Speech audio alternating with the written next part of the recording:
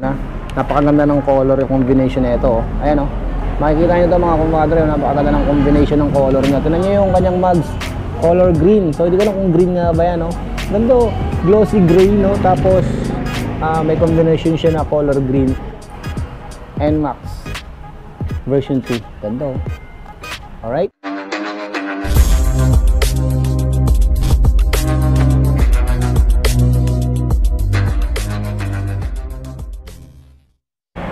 So yan, what is up guys?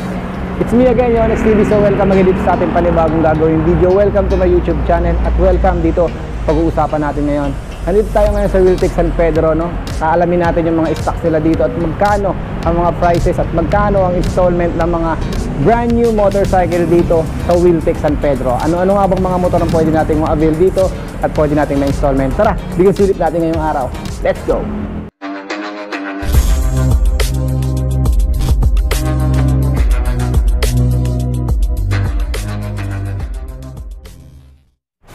So yan mga kumpadre no. So ito nga itong unahin na natin itong high-end nila na Yamaha Aerox 155cc no na glossy gray. So ito, ayan no.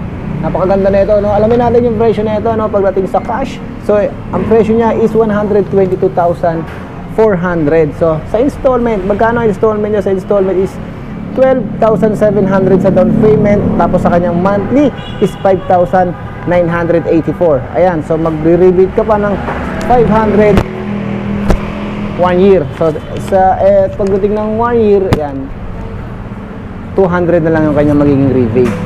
Alright so lalagay na lang natin dito sa screen kung magkano talaga yan yung price niya. Ayan o tapos dito meron tayo rito NMAX na version 2 ayan brand new tayo ha brand new. Brand new NMAX version 2 so magkano ang NMAX so? Ayan ang kanyang presyo is 155,000 no? 155,000 yung prices ni NMAX version 2 so ito color gray. Glossy gray din siya. Ayan no? Napakaganda ng Yamaha sana all no? So ito yung dream din natin hanggang ngayon. Saka yung Aerox na yun no? Ayan no? Yamaha. Magkano sa Yamaha? 16,000 ang kanyang down payment at ang kanyang monthly installment is 7,530 sa 3 years mga kapadre no? so magre-rebate ka pa ng 500 first 1 year. Ayan o NMAX. Version 2 ganda o alright. So ito naman yung isang Aerox no? Na Yamaha Aerox 155 na. Napakaganda ng color yung combination na ito oh. ayan o makikita nyo ito mga kapadre napakaganda ng combination ng color niya. Ganda o glossy gray no? Tapos uh, may combination siya na color green at color black. Ayan oh, ganda o ayan, Aerox. Ganito ayan yung Aerox 155 din o sa presyo naman ito mga kapadre ah, may, medyo mahal lang to dun kesa dun sa isang Aerox natin. Ayan o version 2 na rin to. Ayan o, ganda o brand new tayo ah, brand new. So magkano ang Aerox 155 na to? So sa kanyang presyo is 126,000 500 yung kanyang cash prices. Tapos sa kanyang down payment is 12,700 5,984 naman sa kanyang monthly installment 3 years so halos parehas lang naman sila ng installment ng dalawang ng Aerox na to. So meron din tayo dito na Raider. Ayan o Raider FI ayan o Raider 150 o FI na tayo dito. Naka FI na siya. Ayan o ganda yan mga padre no? so magkano ang Raider 150 dito? So sa kanyang Raider is down payment 9,000 800 sa kanyang down payment sa monthly installment naman is 5,887 sa price niya sa cash price niya sa SRP niya is 118,200 pesos. So ito yung FI nating Raider. Suzuki Raider FI ano oh ha? So dito naman oh padre meron tayo rito Suzuki Bergman. Ayan, no, glossy white na Suzuki Bergman. Ayan, sa presyo niya, no? Sa presyo niya is 80,900 SRP niya sa prices niya. So, pagdating naman sa monthly installment is 4,500 sa down payment, 4,098 naman sa monthly. Ayan, pero may rebate pa tayo na 500 dito sa kanyang uh, monthly installment. May rebate pa na 500 sa first one year no sa first one year 500 tapos yung 2 years na matitira is 200 na lang yung rebate natin so ito yung Suzuki Vergeman ayan no ganda na ito Glossy white na Bergman Suzuki. Ganda oh. Oh, di ba? Ganda oh.